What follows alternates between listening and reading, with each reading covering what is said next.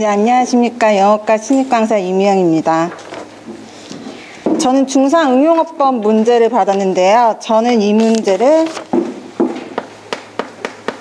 중3 70점 이상 학생들을 대상으로 설명해 보도록 하겠습니다. 자, A 지문은 어, 미셸이라는 여자가 휴양지에서 즐기고 있는데 이제 상어가 나타났다고 생각을 했는데 알고 보니까 고래였다 이런 내용인데요. 지금 첫 번째로 보시면 to attack에 밑줄이 그어져 있습니다. 그래서 저는 체크 포인트를 어, 문장 전체를 보시면 미셸은 had seen shark to attack swimmers. 자, 미셸이 어, 예전에 상어가 swimmer를 공격하는 것을 본 적이 있다라고 했는데 자, 지각 동사가 쓰이고 목적어가 쓰이고 목적 보어가 나오면 김지영 선생님 목적 보어의 형태가 어떻게 되어야죠? 네, 그렇습니다. 동사 원형이 나오거나 아니면 진행되는 형태를 더 신- 생동감 있게 보여주려면 ing가 나옵니다.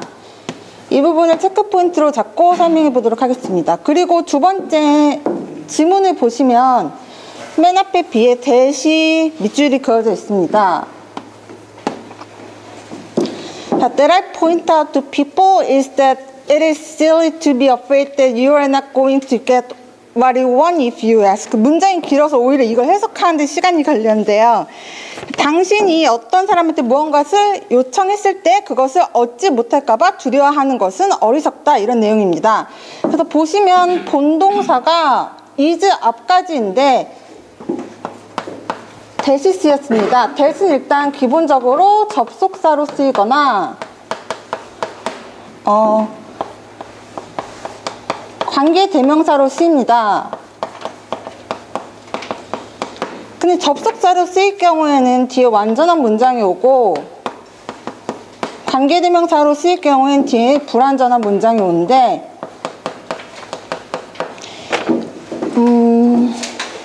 뒤를 보시면 point out에 목적어가 빠져 있습니다. 그래서 불완전한 문장이 왔는데 관계대명사로 쓰이면 앞에 선행사가 지금 빠져 있죠. 그래서 이 자리 지금 that이 주어로 쓰이는 것이 주어를 이끄는 절 주어로 주어 절을 이끄는 that이 맞는지 체크해 보겠습니다. 자, 세 번째 지문을 보시면 첫 번째 that's because의 밑줄이 그어져 있는데요. 이거 잠깐 해석해 보면 Jason, you are always behind on your work. 그래서 너는 항상 일에 늦어. 너는 항상 그것을 나중에 한다고 내일 한다고 말하지 않니? 그래서 너는 매일 그렇게 급하고 일에 늦는 거야. 라고 했는데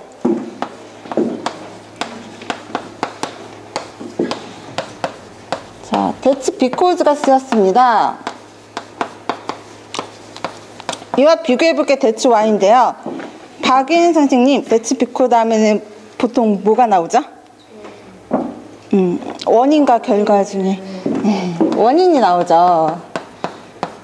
그리고 대치 Y 다음엔 결과가 나오는데 문맥상 어떤 것을 쓰는지 더 적, 어떤 것을 쓰는 게 더 적절한지 살펴보겠습니다.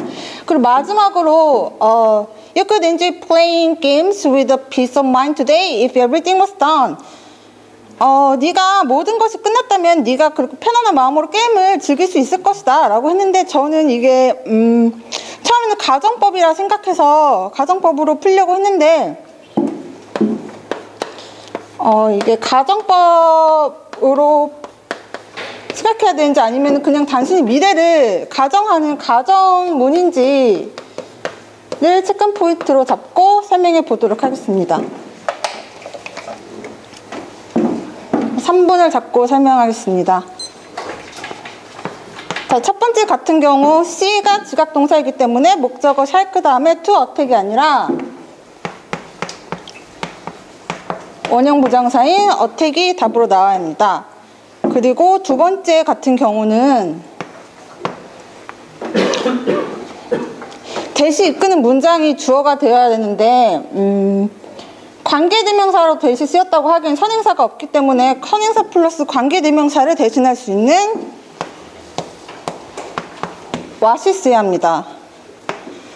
그리고 세 번째 같은 경우는 제이슨이 어, 꿈을 대고 그리고 그 결과 항상 뭐 압박을 느끼는 거기 때문에 원인과 결과 앞문장과 뒷문장의 관계가 원인과 결과이기 때문에 thats와 이가 시합니다.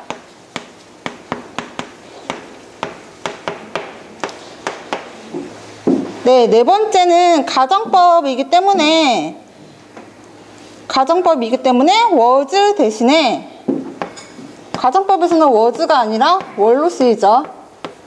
그래서 월로 고쳐주면 될 것 같습니다.